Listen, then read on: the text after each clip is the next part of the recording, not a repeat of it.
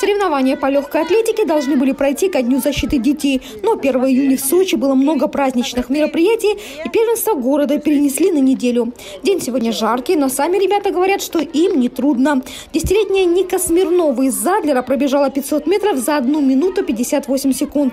Никому не дала себя обогнать. Жарко, и для спринта это хорошо, когда жарко. Когда жаркая погода, это для спринта отлично. Потому что мышцы хорошо развиваются и становятся легче, и они быстрее разогреваются.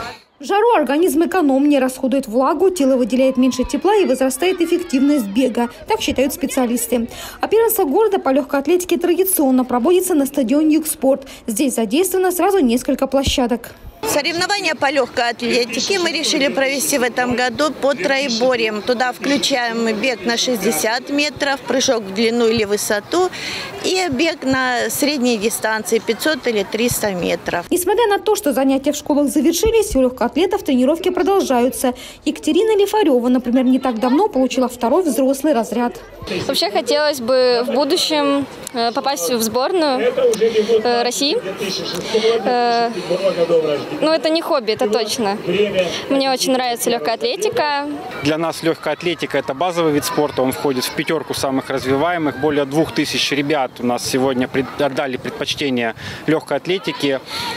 Ну и традиционно мы, конечно же, всегда показываем очень хорошие результаты. Мы сходим и в сборную Краснодарского края, и есть наши ребята, которые выступают в сборной, защищают сборную России. Легкоатлеты будут усиленно тренироваться на каникулах. Впереди у них соревнования на краевом уровне. Елена Овсецина, Николай Тихонов, телекомпания «ФКТ».